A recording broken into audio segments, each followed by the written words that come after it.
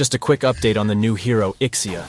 She has been nerfed in the latest advanced server patch. This was expected because she was just too strong before the update. The first nerf is on her passive. They removed the base damage of Arc Siphon so that she would not be that strong in the early to mid game. This will also affect her damage on her ult, so it's like a shadow nerf.